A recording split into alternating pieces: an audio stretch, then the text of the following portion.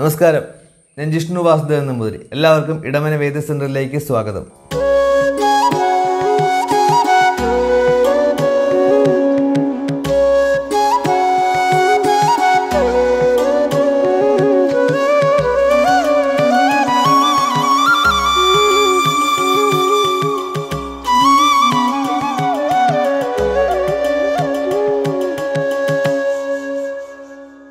അനിഴം നക്ഷത്രക്കാർ നല്ല ലീഡേഴ്സ് കൂടിയായിരിക്കും.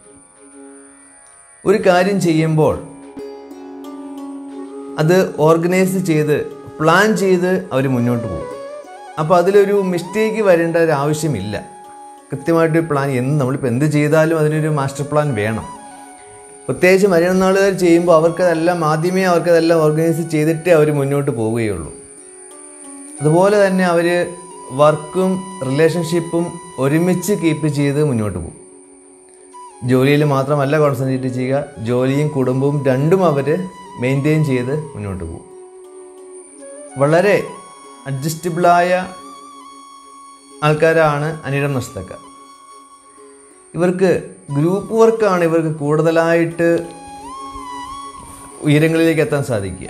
ഒറ്റയ്ക്ക് ചെയ്യുന്ന വർക്കിനേക്കാൾ കൂടുതൽ ഗ്രൂപ്പായിട്ട് ഒരു ടീമായിട്ട് ചെയ്യുന്ന വർക്കാണെങ്കിൽ ഇവർക്കൊരു ഹൈ പൊസിഷനിലേക്ക് ഇവർക്ക് എത്താൻ സാധിക്കും. അത് ഇവരുടെ സൊസൈറ്റിയിലുള്ള ഒരു ഇമേജ് ഇവർക്ക് വളരെയധികം ഉയരാൻ സാധിക്കും. വളരെ നല്ല ഫ്രണ്ട്സ് സുഹൃത്തുക്കൾ ഇവർക്ക് ഉണ്ടായിരിക്കും.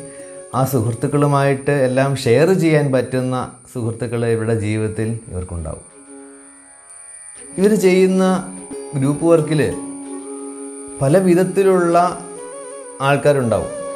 എത്ര ആൾക്കാരുണ്ടെങ്കിലും ഇവരാണത് ഓർഗനൈസ് ചെയ്യുന്നെങ്കിൽ ഇവരാണ് ലീഡറെങ്കിൽ ആരെയും വിഷമിപ്പിക്കാതെ മാനേജ് ചെയ്യാനുള്ള ഒരു എക്സ്ട്രാ ഓർഡിനറി കഴിവ് അനിഴം നക്ഷത്രക്കാർക്കുണ്ട്.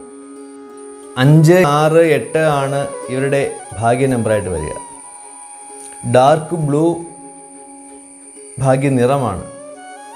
ഇന്ദ്രനീലമാണ് രത്നമായിട്ട് വരിക.